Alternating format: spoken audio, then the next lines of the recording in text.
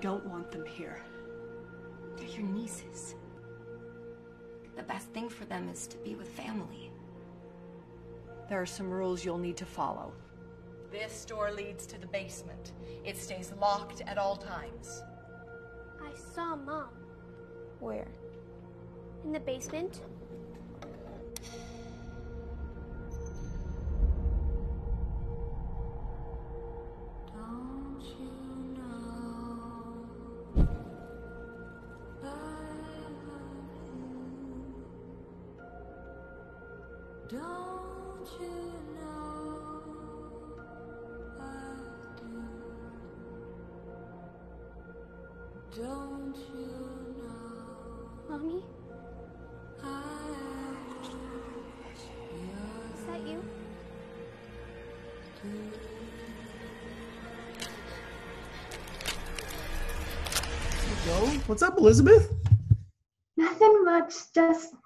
Nothing much, just chilling at home, nothing else to do.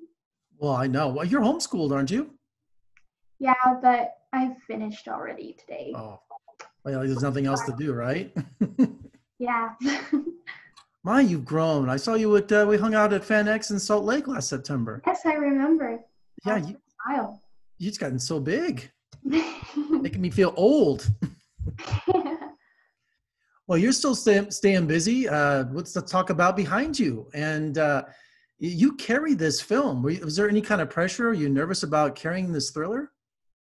well, being the one who controls a lot of the storyline, I did my best to just like, I don't know, because I don't speak a lot. So I was really trying to just use my expressions and relate to the character in a way that was natural. And I think I worked out well, but luckily Addie Miller was there and she was able to help me through it. But yeah.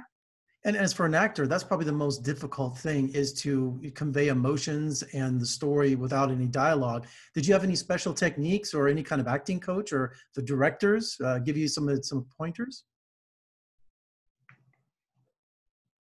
Acting with no dialogue just seems to come natural with me. Sometimes I think dialogue is harder for me. I'm not sure why.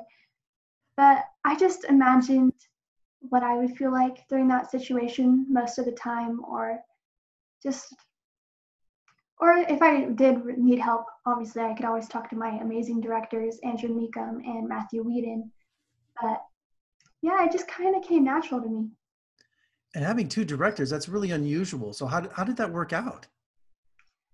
Well, see, that was my first film, so I had no idea that sometimes there was only one director, but they worked really well together. Andrew was kind of more like the mom figure, I guess. He definitely like made sure everything he made sure he got everything done. And Matthew kind of acted as like a funny dad type of character who was just helping us get through it, you know? And and this being your first film, was there a particular day or scene you were dreading that was like the most difficult? Like, oh, today's the day I have to shoot this scene, and am I ready for it, or or just didn't even sleep the night before? There were a couple of those times. I'd say for physically draining and emotionally just draining, there's one scene where I'm pretty much screaming and attacking someone the whole time. And it was 3 a.m. and I was just tired because we were filming the entire movie overnight except for a couple of scenes, which was during the day. We'd be there till like four o'clock in the morning. And I was, I remember after that scene, I was just shaking because I was like so tired. But another funnier situation is when I had to eat meat in this film, but I'm a vegetarian. So we made a compromise, but I was getting sick to my stomach just thinking about it, but we made it work. You went, you headed to Burger King to get some Impossible Burgers to put it as a stand-in, or Well, actually, um, I'm pretty sure his name was Joe. I can't quite remember after three years, but he he took mashed up cookies and like put it on a bone, like a meat bone. So like Ew. when it wasn't a close up, I just eat the cookies, which it was better than meat. But there was one time where I got a good close up meat Ugh. option away. Well, this being your first film, tell me about how you found this script. And when was that aha moment you went, Mom, I found it. This is it. We got to do this. Well, so I have a mutual friend, Sally Meyer, who's a lovely person, and she had gotten the script for one of her other younger friends. And since this um, movie has sisters, I would be auditioning for the younger sister because who she had in mind looked like me, and it, it just worked out. So I was like, well, might as well audition. It's a big deal to do a horror movie and do your first film, but um, and then I went in for the audition, and it was around 45 minutes of me just talking and trying to do my best. And in the script originally, it had a part where I was supposed to scream. And I was really excited about getting to scream. And I asked them, I was like, oh, do you guys want me to scream? And they're like, no, it's not needed. And I was like, oh. And then they're like, you can scream if you want. And I ended up screaming. And then callback came around. I was so ecstatic that I even got it just that far, like a callback. And that's crazy. not and that's not so unusual because a lot of actresses say when they do their horror films in their audition they're asked to scream. So that's like almost standard. So Yeah, and callback came around, screamed again. Another like hour of a callback.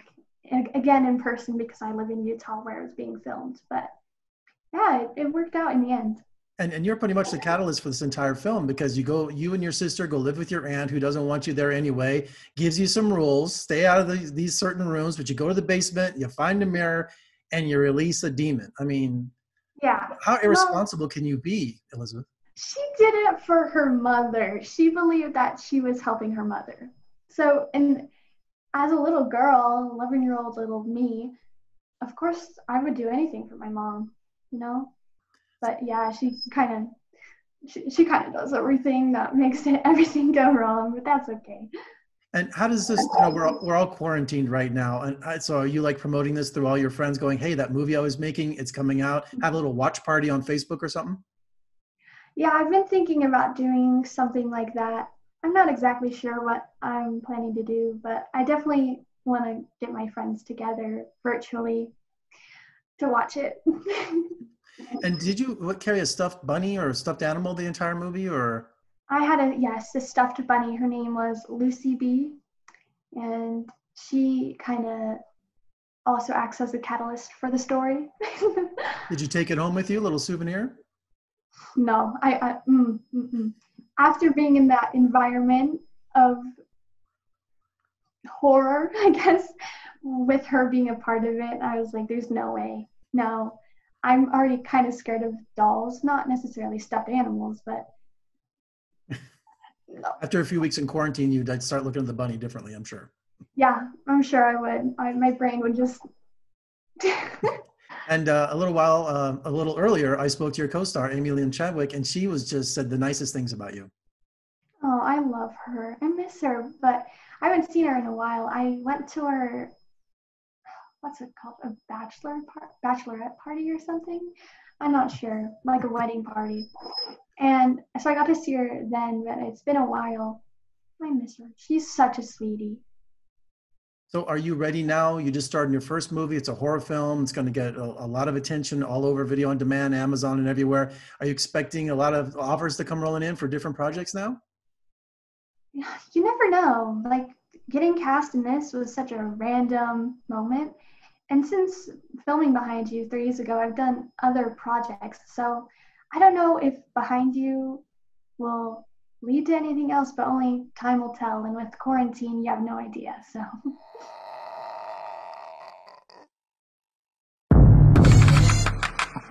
There could be. Well, congratulations on the film, and uh, I'm I'm so happy for you. And uh, when FanX rolls around again, we'll hang out in Salt Lake together. sounds good. Thanks so much, and say hi to your mom for me. I will. Thank you. Bye. Bye.